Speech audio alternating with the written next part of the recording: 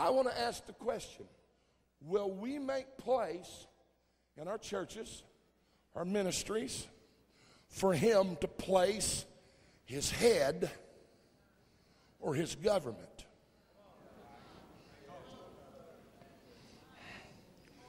Will we make place? He is the head of the church. Mm. He governs the church.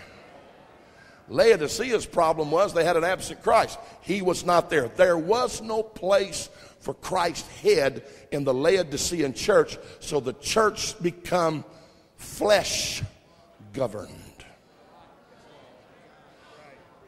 Hmm. Trust me, he wasn't there. He's on the outside knocking, trying to get in, like a lot of places I know.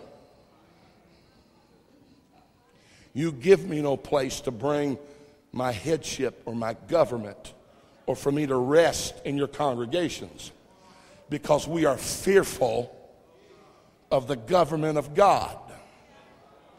And when we say, let me rock the boat, when you say or I say Jesus Christ is Lord, that's more than just something that you can put on the back of your bumper. That's more than just something that you sing about on Sunday night. What you're saying is, is he is king and I'm making a place for his government in my life. Because if I truly want the kingdom of God in my life or to be a part of it, he is king of kings and he is lord of lords.